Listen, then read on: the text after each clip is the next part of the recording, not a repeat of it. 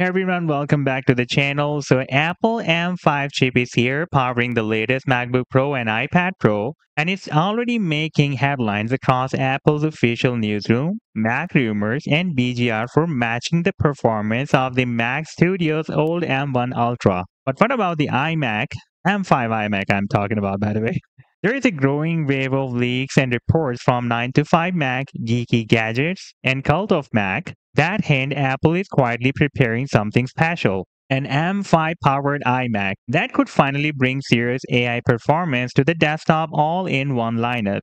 So let's break it all down, everything we know so far, from leaks and rumors to performance expectations and design, and see if this next gen iMac is worth waiting for. But before we continue with this video, if you would like to buy the current M4 iMac or any other tech product of your choice, and I've also shared my Amazon affiliate link in the description of this video. You can use that link to buy those products and that will be a really very great support for this channel. Apple's new M5 chip isn't just a speed upgrade, it's a full-blown AI engine. According to Apple's newsroom release, it comes with a neural accelerator in every core, a faster neural engine, and an upgraded GPU architecture that brings 45% battery ray tracing and 30% faster overall graphics than the M4. Mac Rumors even noted a 20% boost in memory bandwidth as well, which makes multitasking in creative apps way smoother. So if Apple integrates this into the next iMac,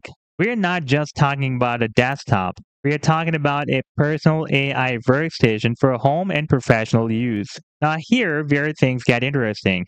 There is no official announcement from Apple yet, but leaks from Geeky Gadgets and Apple Insider point an M5 iMac refresh lined up for either late 2025 or early 2026. The report suggests Apple is keeping the same sleek 24-inch design, but adding new colors, and more importantly, the M5 chip at its core. That means we could finally see iMacs capable of studio-grade performance with integrated AI accelerator, ideal for creators, video editors, and 3D designers. Meanwhile, Cult of Mac notes that Apple's M5 rollout is happening in waves, starting with portable devices this year, followed by desktops like the iMac and Mac Studio in 2026. So if you have been waiting for an iMac refresh, then it's definitely on the roadmap. Now let's take a look at what will the M5 iMac actually deliver if the M5 inside laptops already rivals the M1 Ultra desktop chip, imagine what Apple could do with better cooling and higher clock speeds in an iMac. Expect faster creative workflows in Final Cut Pro and Logic Pro, real-time AI rendering and object detection, enhanced Siri and Apple Intelligence integration, and possibly even support for larger displays or mini OLED panels. Uh, not OLED panels, LED panels. While design change while design changes are said to be minor, Apple may introduce a new Pro style finish, hinting that this iMac could bridge the gap between the everyday desktop and the Mac Studio. So here's the big question again, should you buy the current iMac or wait for the M5 iMac?